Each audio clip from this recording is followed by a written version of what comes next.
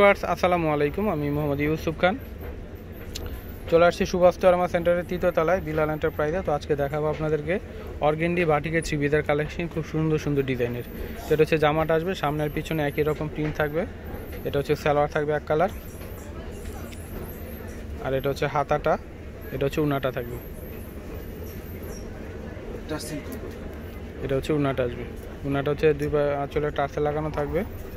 হ্যাঁ মাঝখানে টিয়া কালার দুই আঁচল হচ্ছে ব্লু কালার মধ্যে আসবে এটা কালার হবে ফিরুজা কালার, তারপর হচ্ছে কালো অরেঞ্জ কালার। এটা হচ্ছে পেস্ট কালার। এটা হচ্ছে অরেঞ্জ কালারের মধ্যে আসবে, এটা হচ্ছে পুরো জামাটা। স্যালাড হচ্ছে বেগুনি কালারের মধ্যে আসবে। এটা হচ্ছে হাতা, আর এগুলোর প্রাইস হচ্ছে সাতশো টাকা। হুম, এগুলো হচ্ছে সাতশো টাকা অন্যগুলো হচ্ছে পার লাগানো রয়েছে, খুব সুন্দর করে। যেরকম পার লাগানো থাকবে আর টার্সেল লাগানো। প্রাইস হচ্ছে সাতশো টাকা।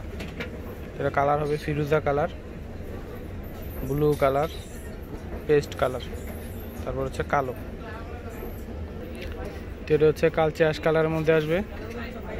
এটা হচ্ছে পুরো জামাটা স্যালাড হচ্ছে খয়রি কালারের মধ্যে আসবে। এটা হচ্ছে হাতাটা থাকবে আর এটা হচ্ছে দোপাটাটা আসবে।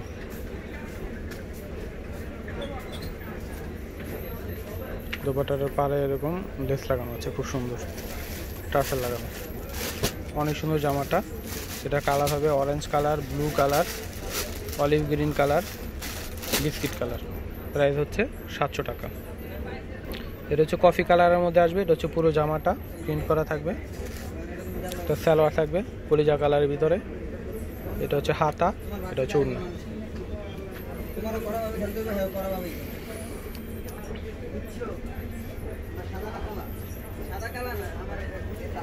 এটা কালার হবে কালো, বেগুনি colour orange colour blue colour. এটা হচ্ছে অলিভ কালারের মধ্যে আসবে। তো এটা হচ্ছে পুরো জামাটা, এটা হচ্ছে স্যালোয়ার থাকবে, বেগুনি কালার, এটা হচ্ছে হাতা, এটা হচ্ছে উন্না